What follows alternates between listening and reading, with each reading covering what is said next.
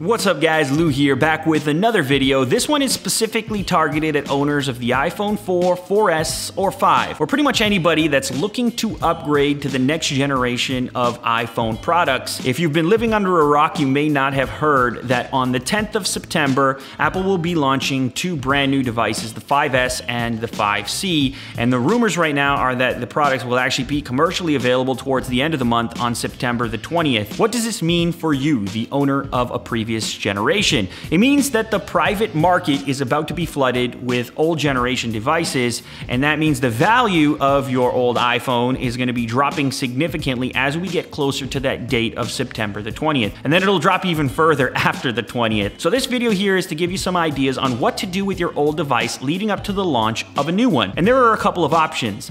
I want to start out with the most obvious one, that's to sell your device privately to a friend, to a family member, or on something like Craigslist where you meet a person locally and sell your device that way. Now there are benefits and drawbacks to this particular strategy. Of course, the benefits are you will likely get the most money this way. You'll likely get the money the fastest, hopefully, but there are some drawbacks too, which are you have to meet somebody you've never met before for a cash transaction. Some people are uncomfortable with that. And of course, you have to have the time to go out and do that that. Now, if you're a busy person like myself, that might not necessarily work out so well.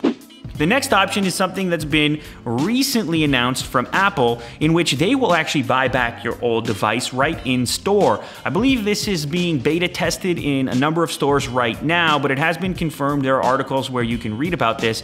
Although there is one major criticism here, even though this is probably the easiest method since you're going to be in the Apple Store anyways, or you might be in the Apple Store anyways, uh, it also rewards you with the least amount of money. People are getting somewhere in the neighborhood of $250 for an iPhone 5. That doesn't sound so great, and you know that you can get more money for that using other methods.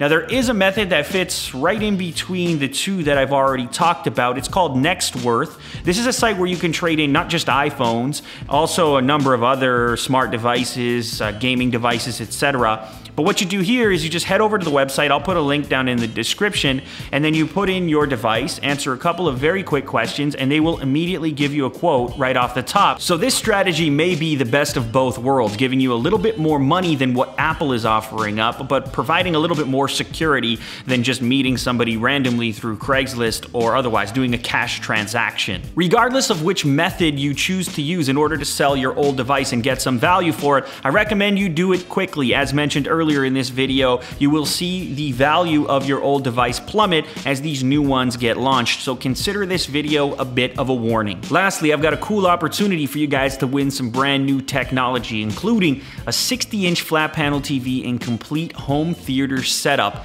This is courtesy of HH Gregg in conjunction with Samsung. They're celebrating the launch of a brand new app. It's actually a game on iOS, Android, and Kindle. It's called Endless Blitz, and it's a football game, actually actually pretty fun. You should definitely check it out. But it has that added perk of giving you the opportunity to win some cool stuff. And the download is completely free. I'll have the links down in the description. So not only is there a 60-inch 3D TV slash home theater system that's up for grabs, there's also daily prizes including Samsung tablets, Blu-ray players, gift cards, and there's even a trip for two to New York City to meet the former NFL coach Tony Dungy. So some pretty cool perks for doing something you'd probably enjoy doing anyways, that's playing games on your mobile device. I know you guys are big fans of doing that, so I thought I would make you aware of it. All the relevant links to everything I talked about in this video are down in the description. Make sure to leave a thumbs up if you enjoyed this content, subscribe if you haven't yet, and I'll catch you on the next episode. Have a good one. Later, guys.